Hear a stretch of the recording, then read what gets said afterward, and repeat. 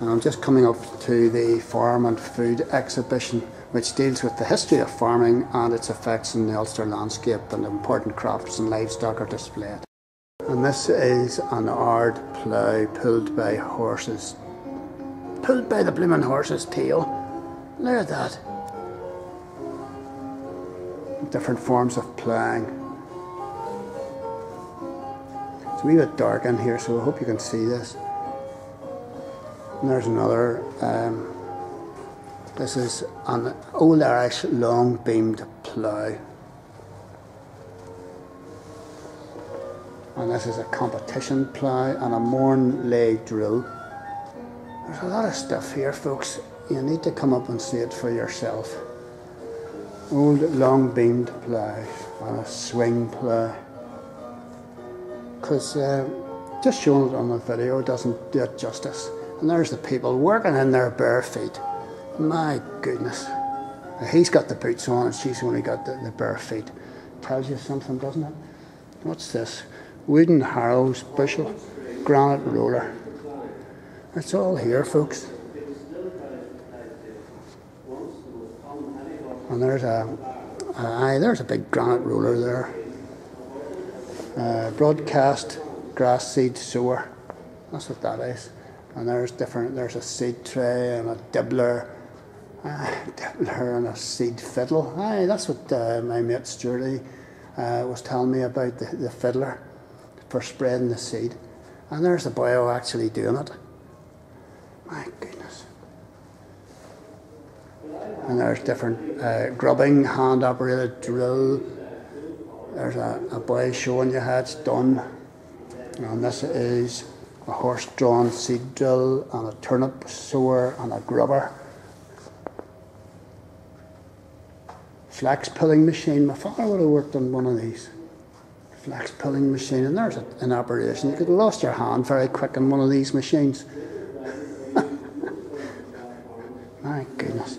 Pulling flax. My father used to talk about pulling flax to make linen. And there's the, the, the spade, the, the, the way that they would have uh, taken the tops off the, uh, the turf. Healthy potato tuber. There we go. And this is a potato digger.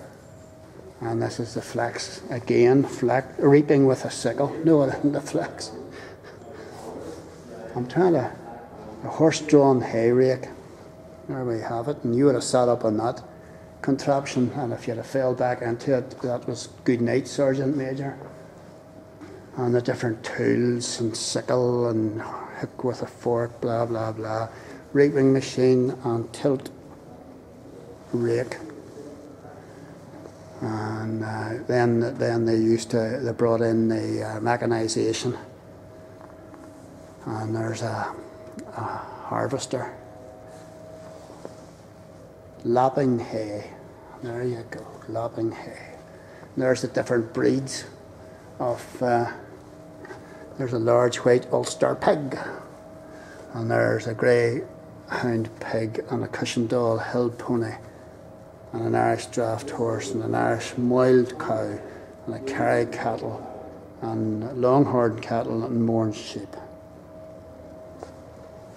There's lots to see up here, folks. Lots to see. Butter churn, churn, a plunge, churn, and dash.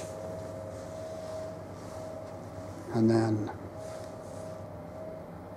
this, these are the different. There's potato bread being made, and there's a wheaten wheaten farl, an Irish stew, and soda bread, and bacon and ham. These were the staples of the diet at that time.